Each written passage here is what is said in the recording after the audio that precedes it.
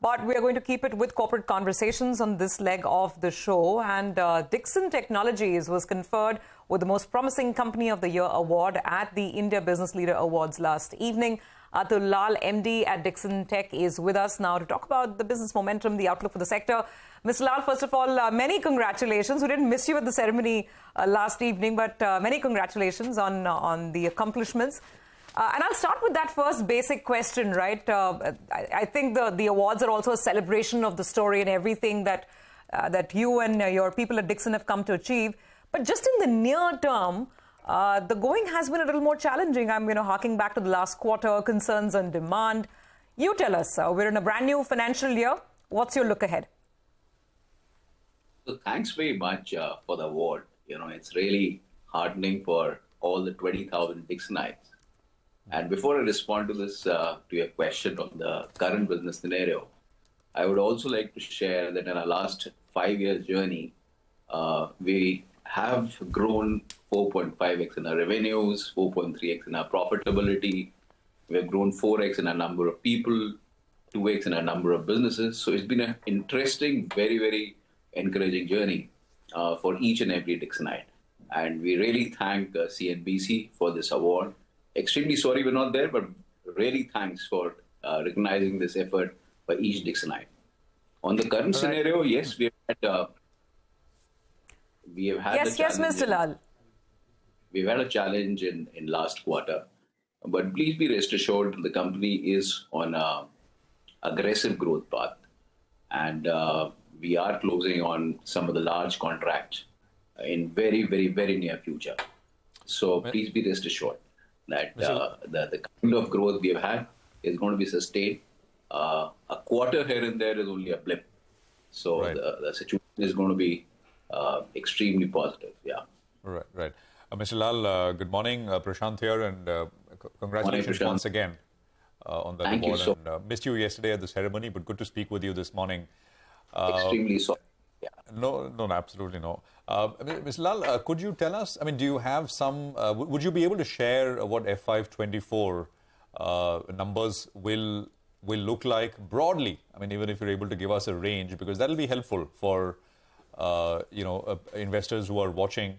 Uh, the last time you joined, you know, we, we got a sense that the guidance, I mean, it's kind of tough to give the guidance at that point, but you did indicate that maybe a month, two months into the year, you'll have better clarity.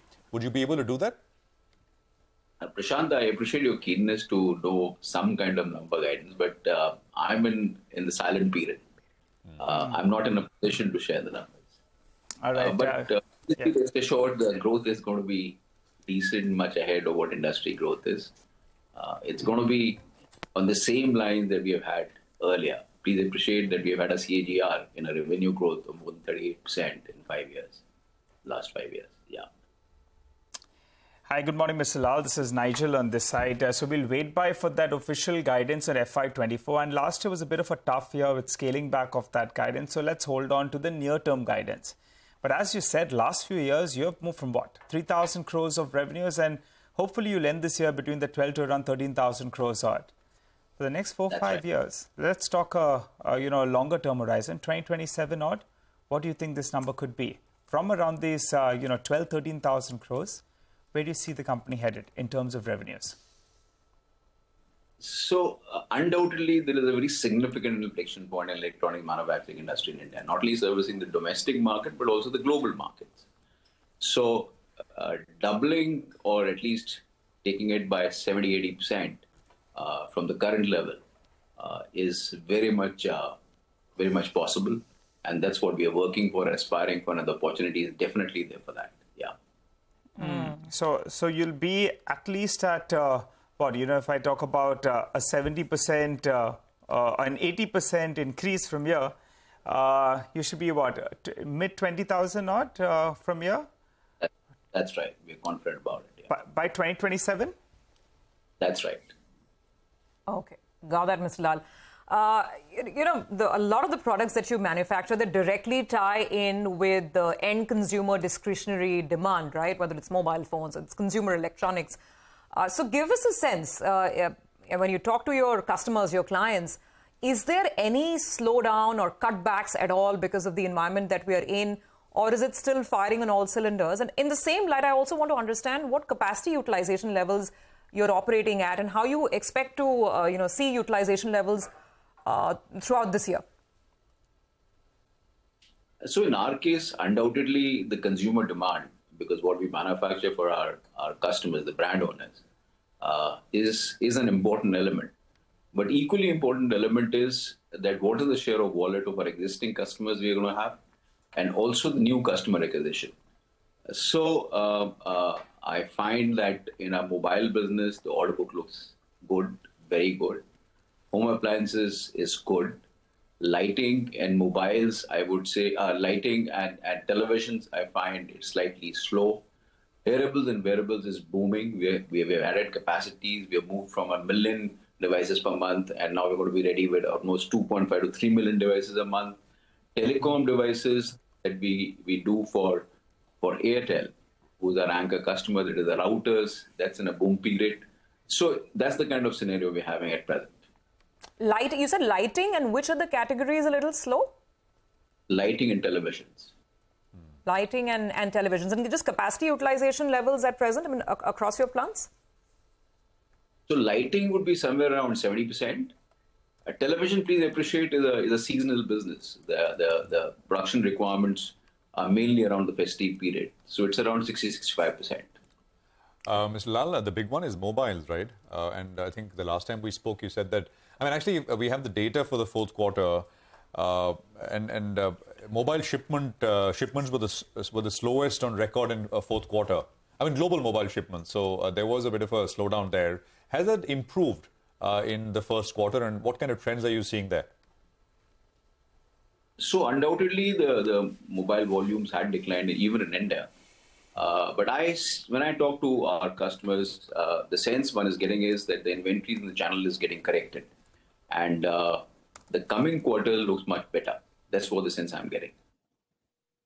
All right, uh, Mr. Lall, just to come back in terms of a broader number by 2027, you said uh, you know somewhere around mid mid 20,000 crores odd is what you could head to. So I'm just working with an 80% number from a base of around 13,000 crores. You'll be in that vicinity of around 23 to 24,000 crores, which is uh, a number, right, that you will be looking at by 2027. My question to you is, uh, how much capex do you need to put to get to that number? Uh, because with the current facility, there would be a particular revenue potential, but to get to this 23, 24,000 crores, what kind of capex you have to incur, and also the targeted margins. You have been in this vicinity of around 4 5% or thereabouts do you have a targeted margin going ahead because of the product mix that you're going to be changing, as you were mentioning? So the capex intensity, we've just uh, come out of our budget meetings for uh, the current fiscal. We feel is going to be around 400 crores a year. Okay. And please appreciate growth is happening uh, with an extremely healthy balance sheet and practically no debt. So the so this growth is happening with this kind of capital intensity, and we we feel that in spite of uh, this capex, we're going to be generating cash after capex year on year. Uh, so, so that would be enough to take you to that uh, 20, 23, 24,000 crores. That's right. And very quickly, the targeted margin in the next four or five years? So the targeted margin is going to be somewhere between 4 to 4.5 percent because the main growth is okay, coming same. from mobile, which is largely a low margin business. Okay, uh, just quick final uh, word, another final number, Mr. Lall. Uh, PLI, uh, I think you received uh, about 150 crores in March. This year, FY24, uh, what kind of inputs are you expecting from the production-linked incentive scheme? So we are a PLI beneficiary in under five schemes: mobile, IT products, telecom devices, lighting components, and air conditioning components. And uh, our account up to December 22, we really want to thank the government. Uh, we're the first and the only company whose account has been completely cleared in December 22. And our applications till March are in the process of uh, getting finalized. And uh, I think it's becoming seamless now. Uh, on all the other PLIs, we have achieved the thresholds both on investment and the revenues.